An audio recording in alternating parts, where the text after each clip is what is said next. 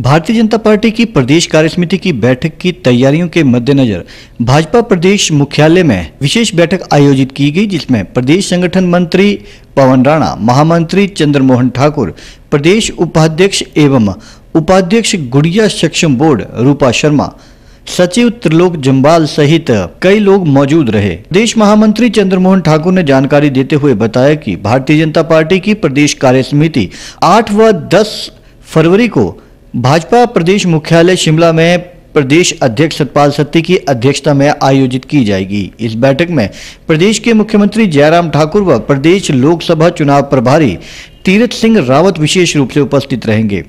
ठाकुर ने बताया कि 8 फरवरी को दोपहर एक बजे भाजपा के प्रदेश पदाधिकारियों की बैठक होगी, जिसमें भाजपा के सभी प्रदेश पदाधिकारी, मोर्चाओं के प्रदेश अध्यक्ष पूर्व संसदीय क्षेत्र संगठन मंत्री, संसदीय क्षेत्र विस्तारक तथा भाजपा के जिला प्रभारी मौजूद रहेंगे।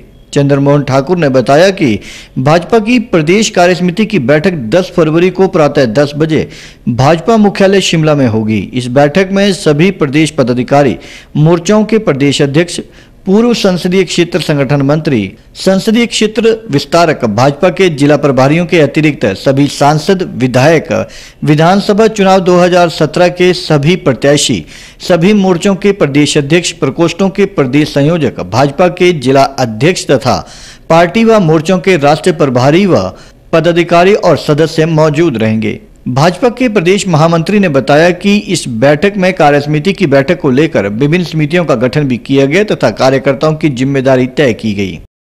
भारतीय जनता पार्टी हिमाचल प्रदेश की कार्य समिति बैठक 8, 9 और 10 फरवरी को निर्धारित की गई है। यह बैठक पार्टी के प्रदेश मुख्यालय दीप कमल में संपन्न होगी।